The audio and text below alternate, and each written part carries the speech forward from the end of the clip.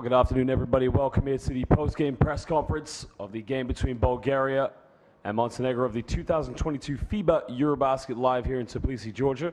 Currently with head coach Rosen Barchovsky and Dejan Karamfilov of Bulgaria. Can we just kindly ask that your mobile phones are on silent? We'll have time for questions in English and in Bulgarian. Coach, exciting game to watch, very close to the end. Just an opening statement from your perspective as coach of this game. So, uh, the players, my colleague, me, we are sorry for, for uh, that we lose uh, the chance to win this game. We were very, very close. So, okay, we play better and better every game. Uh, this is good, but in each game we have a some little period that for me, for my opinion, we lose the game. This period was the first five minutes of the third quarter. Uh, with worse defense, without organization in offense, uh, with turnovers, with uh, missing the open shots. This was the key in the game. Uh, of course, the defense also is the our problem, problem especially under the basket. Uh, the offense is going uh, well, I think is going very well, uh, but it's not enough. Uh, no, mm, what to say. I hope that uh, we can win the last two games. Dejan Karamfilov, 6.7 assists. Very good performance for you coming as a point guard in this game. Just an opening statement from your perspective as a player. А, и да, и аз а, мисля, че а, загубихме организация в третата част. I, I think that we lost organization in the third quarter. И направихме няколко грешки в нападение, които позволиха на тях да, направим, да направят серия от а, 7 на 0 за минута и 30. We made some mistakes uh, in offense, so they uh, made a serious 7-0 and За минута и половина. for a minute and a half. А, също така, както треньора каза, трябва да подобрим защитата, защото за, откакто сме на турнира не сме успяли нито една част да задържим противника по 20 точки. Uh, as the coach said, we have to, to work on our defense because uh, since now, during the tournament, we couldn't uh, make a quarter with uh, less than 20 points in our basket. Но ще гледам видео, ще анализираме и ще се борим за последните два мача на 100%. We will analyze our game, we will watch video, and we will fight for the win for the next uh, two games. I'd like to open up the floor for questions in English first, and then we will transfer over to questions for the Bulgarian press too. Yes, basket news. Elena Savonskas, Basket News. I have a question for coach. Yeah. Uh, defensively, again, he had many problems, allowing 91 points after allowing 100 point two times before. So, what what kind of problems do you face as team defensively, and what doesn't work for you guys?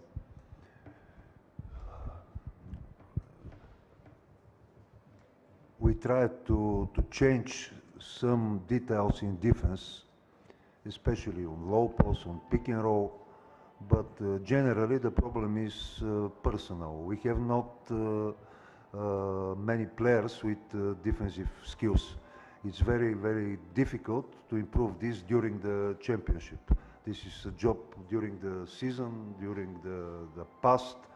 This is the problem. Also, we have no mm, big physical skills, big bodies like uh, the opponents.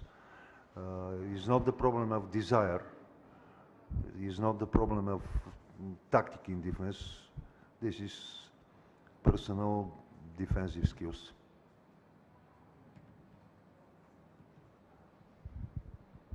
Also, could you talk a a little bit about Sasha Vezenkov? He is, despite that he has the biggest target on the back from opponents, he still manages to score those big numbers. So, what could you tell about his day, about his game? Какво не разбрах?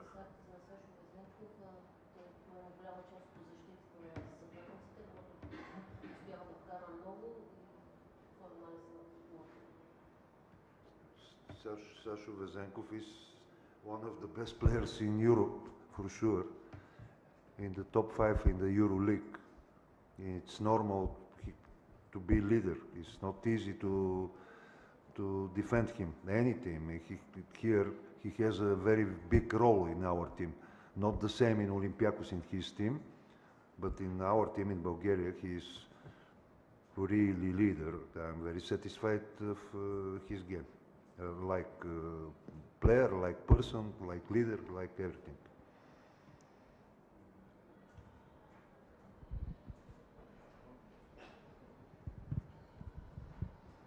José Ramon Alba, de Basel TV for, for co- the coach Rosen. Uh, those three games you played were uh, almost lost by your la- uh, your loss of physicality in the tough moments, like you said at the start of, of the third quarter, when Montenegro scored a lot of points, not only for three points, but Dubljević made a, a good game around the, the rim. How it's for you to face this situation for the rest of the tournament? It not be easy. So yesterday we were tired in the last quarter, but today the problem wasn't uh, in this moment because the problem was in the beginning, the first five minutes in the in the third quarter after halftime, 50 minutes, and they did a run 14-0. This is the key. It's not a problem of the physical problem in this moment. I think. So tomorrow we have one day for recover. We will be ready for the last last two days. Uh, also, after the first game, you said that Dee Bost is not in a good shape. Today, again, he made six assists, but also went 0 for 7, scoring only one point. So, did you talk with him? Maybe you tried to adjust something to, in his way. So, wh- I- what was the problem? I talk with him every day, ten times minimum. So he is not a good shape. Everybody can see this. So in offense, in offense, he pass very well the ball. He looks the game, but in defense, in fast break, and his his uh, number is, is not enough. Normally, he score for Bulgarian team 15, 20, 25 points. Uh, today, one, of course, is not enough. What to say, but Dee Bost is very important player for our team, especially for the last two games.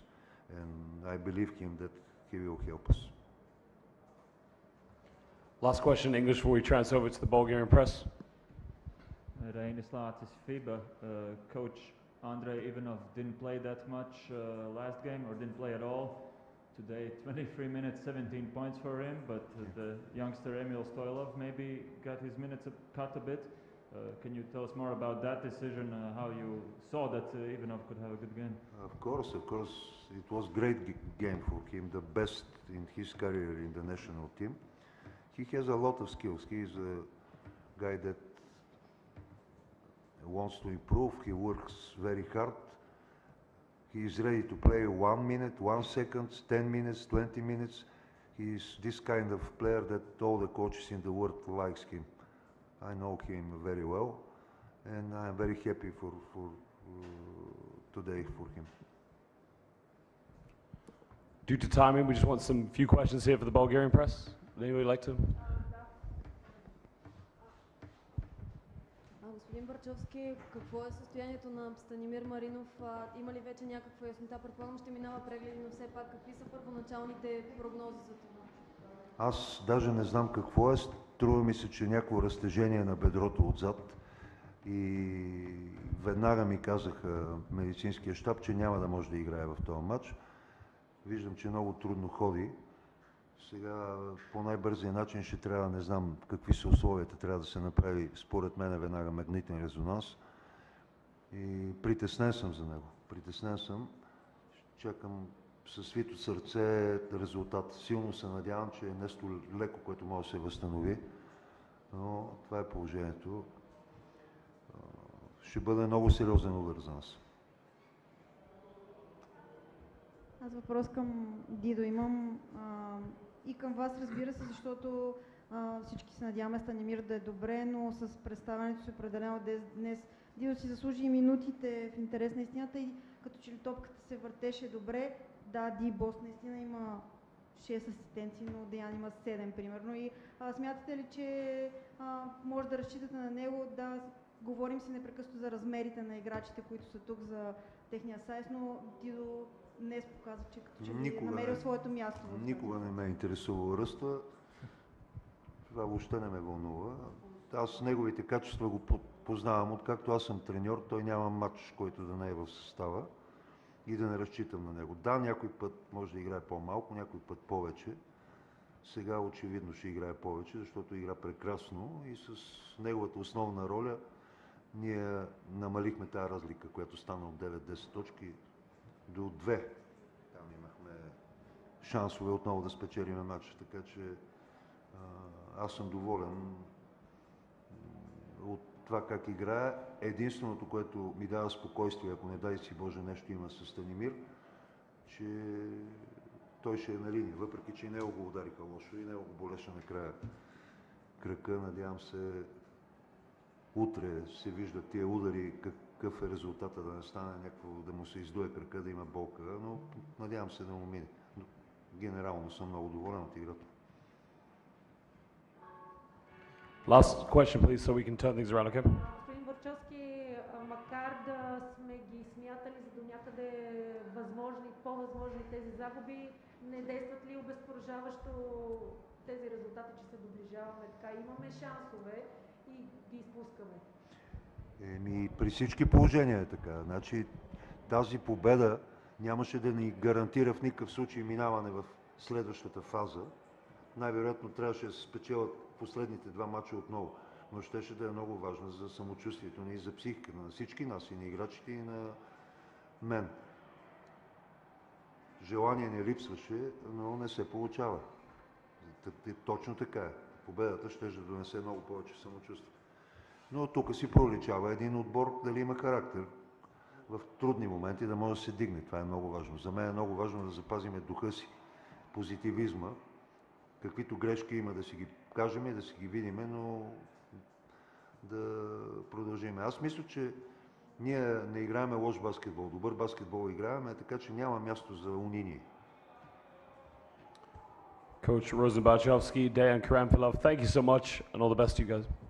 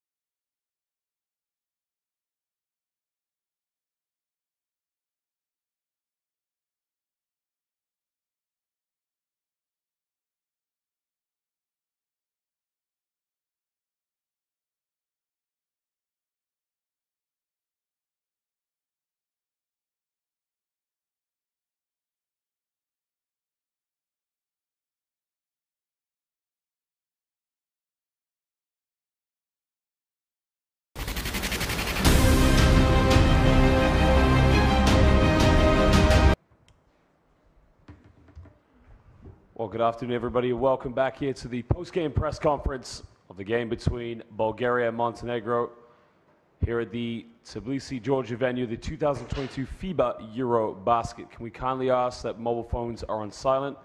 We get an open statement from both player and coach, we'll have time for questions in English and in Montenegro. Can we also please kindly ask that if you are selected for a question, please introduce yourself and state the company that you are writing for. Coach Bosko Radovic, excellent victory for you and your team. An open statement from your perspective after your victory. Uh, good evening, everybody. Congratulations to my guys, to my boys. Congratulations to Bulgarian team on, I can say, good game. Uh, they are playing every game on 80 and more points and uh, uh, it's a typical for us to, to make 90, 91. They made tonight, they average, but we made 91. Again, I think the key of the game was third quarter when we play defense like we, we know, we just let him mm, score 12 points and after that was uh, you know whole game was was tied you know. But uh, uh, very important two victories for us in two days. Uh, we play tonight with, without uh, Popovic. He he had some injury. Perry first half start to playing and in, in five, three, four, five minutes, they also was injured, but uh, they are very brave. On halftime, he said to me, I'm a coach, I want to play, and I think he played injured, excellent second half. Igor Drobnjak, excellent game tonight, 17 points. Just a word from you and your perspective from the game. Good evening, everybody. Uh, before all, I want to congratulate to my teammates for for win. That's second win in a row for us, and now we are one step closer to the next round.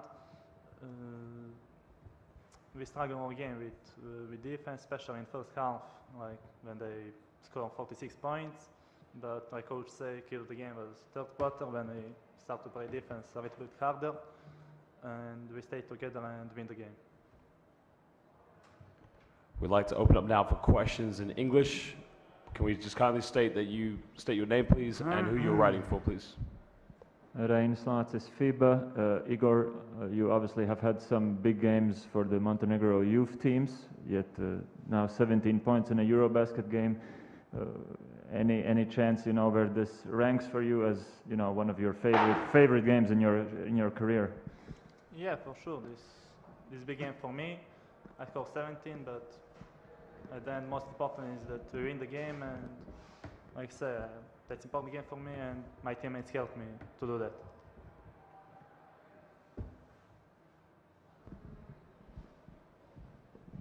Hey Igor, great game. Really enjoying watching you play in this in this Eurobasket.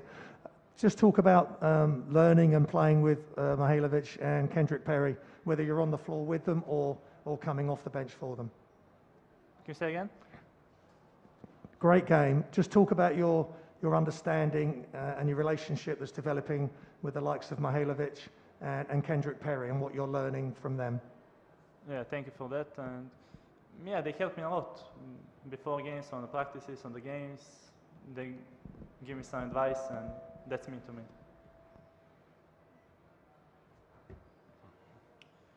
Question over here. Good afternoon, Jose Ramon Alba, the Basel coach. Two questions for you. First of all, Boyan Dubljević, the leadership in a strange year like him that he was father a few months ago. He also became in a really nice shape through the summer in the situation of being new father and also he's here competing, scoring almost 20 points, making the team better every single game. How was that for you as a coach to coach them? And also next game for you is Spain. You have many ACB as a, as a leader guys and Spain is plenty of uh, ACB players this year. How is to face for you and how the scouting could be uh, as that topic, taking in mind you have ACB players and Spain is also full ACB players? Uh, talking about Boyan, Boyan is playing for our country for for uh, national a national team. I think 12 years, and he's fighting uh, every time, and he's playing. It's like last time playing. Boyan is uh, our leader. Every time he's here with the selection, he's a leader. He's a fighter. Like tonight, like every game. Talking about uh, uh, game versus Spain, I don't know. Uh, in this moment, we are tired. Not me, players.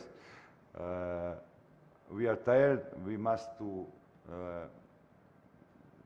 to recover uh, bodies next day and half or two days, and uh, nothing. We are playing for Spain.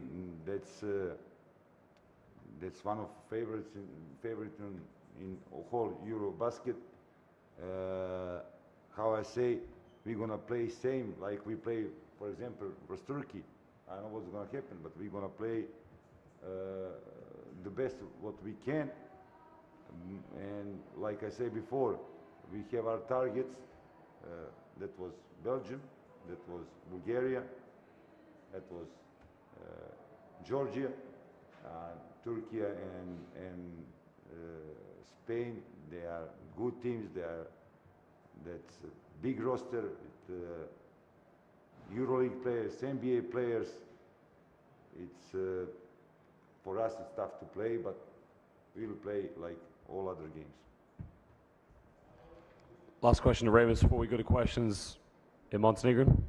And, and similarly, uh, Sasha Vezenko also having a very good tournament, always seems like in the right place at the right time.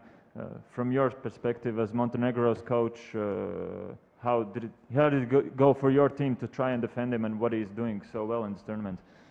Uh, we are preparing uh, game versus Bulgaria. Uh, we are preparing Sasha Vezenko, and but he's a great player, and he scored again 28 points. He's gonna score every game 28 to 3 points. Just is a question when. I think tonight he didn't score in in some mm, I say key moments. He scored in first half. He scored in maybe in third quarter, start in fourth quarter, but he didn't score. I think tonight in in, in the key moments. Sasha Vezenkov is, is a great player and he's showing that all this tournament and in EuroLeague and he scored, I said, again 28 points. But I think uh, it's very difficult to stop him, especially in, in national team. But I think tonight he didn't score in these key moments. That's that's my opinion. I'd like to open up now for press in Montenegrin.